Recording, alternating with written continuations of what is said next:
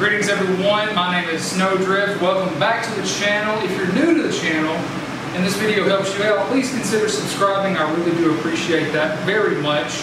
In today's video, we're going to be working on the 06 CBR 1000RR and I've got a package here from Moto Dynamics. In the box we have the tail light itself, wiring harness, and instructions. Very comprehensive instructions, by the way. Like, you probably don't even need this video, but I'm going to show you guys how to do it anyway. You guys will need a number 5 Allen head key to get the seat off, by the way. And yes, I'm using a creeper on top of two sawhorses as my table. The main issue with it is that, like I said, you can't see it during the day. And it's gotten kind of just, compared to new motorcycles, it's just really dim altogether. And so I, I, haven't really been too happy with it. So, since uh, I haven't done much to the bike as of late, I kind of finished it and left it the way it was because I liked it the way it was. Um, I decided it was time to get a tail light that would be better suited for where I live now. Where I used to live, it was kind of a rural area didn't really have to worry about people running into me. I mean, it was still a possibility, don't get me wrong. Um, but I didn't have to worry about it as much as down here in a bigger city.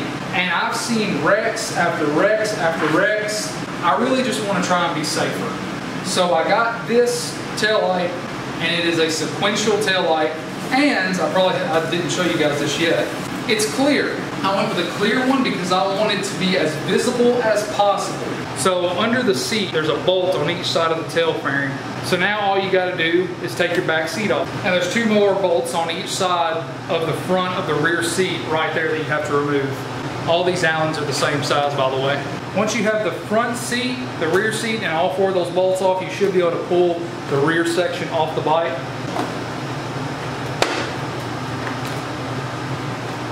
And so now, all we really have to do is unhook the wiring harness from the tail lights. Flathead screwdriver definitely helps with this job. All you have to do is lift up on this tab right here. And there we go. So now that the wiring is unhooked, all I gotta do now is unbolt it. So the two bolts holding the tail light down are eights. So a good idea, I think, is I'm gonna go ahead and take my new tail light and put the nuts on here. I got the old tail light out, and as you can see, it's uh, it's actually started to melt a little bit too. It has definitely seen better days. What you're gonna wanna do is you're gonna wanna extract these things because you're gonna need them. And you're also gonna need this plastic piece right here.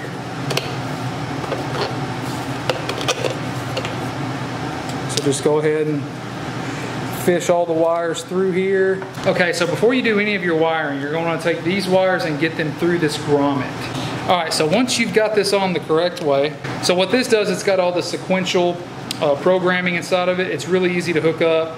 You just yellow to yellow, blue to blue, very simple stuff. Just hook up these bullet connectors.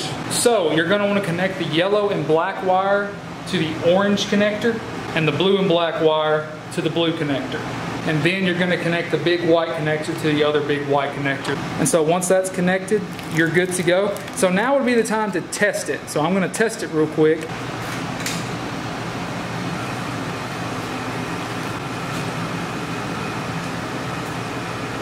Hey! That's pretty cool. So now that we have it all wired up, we're gonna install it back into the tail.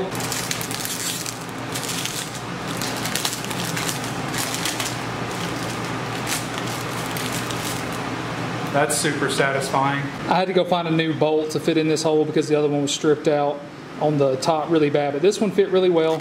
So all you have to do is get this bracket bolted to the tail light and then swing it up and insert the bolt on this side. Same on this side, really simple stuff. And then you just gotta tighten the bolts down on each side. Don't go too hard, you don't have to.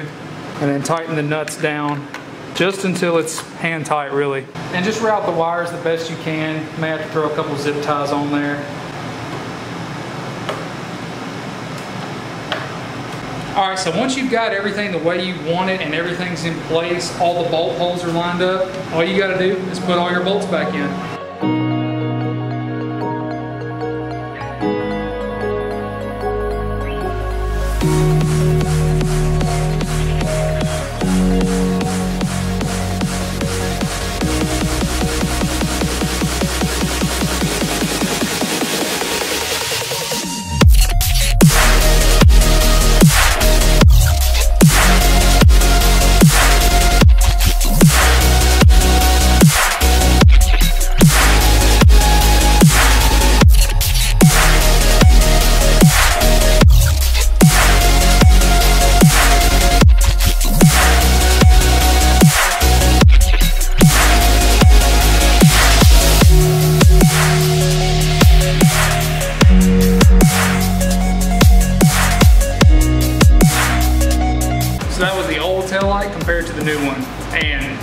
Hard to pick up on the camera because the way the camera senses light is different than way our eyes sense light. But I'm telling you, this right here is way better. Like it's it's not even a fight. Like it's it's a slaughter is what it is. I'm, I'm super proud of it. All right, you guys, that's gonna be the end of this video. I'm super stoked about the new tail light. It looks miles better than the old one did. Um, so if you guys enjoyed the video, if you got a lot out of it, please hit that like button for me. I sure do appreciate that. And uh, give me a comment if you have any questions. Um, I'll link the company that I got the tail light from down in the description. Moto Dynamic. They have a lot of really nice stuff. I love their website. It's really easy to order stuff from and they got me the tail light much faster than they said they would. So I really appreciate what they've done for me.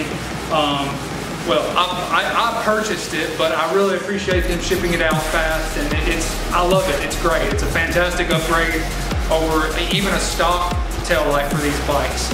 So, um, if you guys aren't subscribed, uh, please consider subscribing. Thank you guys so much for watching. I really do appreciate that. Take care and have a great night.